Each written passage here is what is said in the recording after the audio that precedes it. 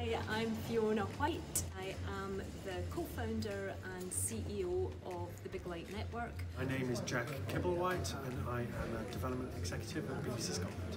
My name is Etienne Kuwawo. I'm a film director and a comic book creator and writer. I'm Daniela Gualtieri. Full time, I'm um, an announcer director and I'm also a radio presenter at Radio 1 sometimes. I'm Julia Candusi and I'm a photojournalist and documentary filmmaker. The best part of my job is the variety. On Monday I was um, talking to the Scottish Symphony Orchestra. Tomorrow I will be looking at a format for a cookery show. Having the trust and the creative scope to just be kind of silly and Scottish.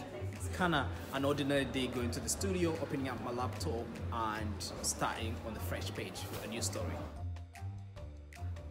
Oh, that was a long journey. One of the first things that I did was making a very short documentary, three minutes long for BBC The Social, and it became viral and that was, I guess, my first big break into the industry. I worked in television for a very, very, very long time. Worked my way up to becoming a director and a producer, then an exec producer, and I decided I wanted to do something in the in the digital world. Started to develop a platform for video content and then pivoted to make a platform for audio content.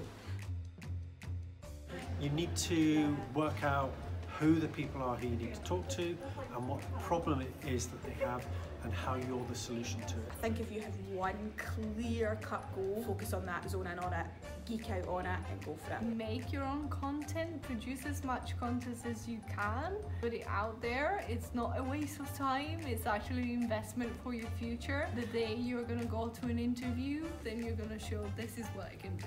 Find something you're passionate about, something that you sleep, dream about, and go for it with your full heart and try and network with as many people as possible. Don't be afraid, just keep going, you'll get there.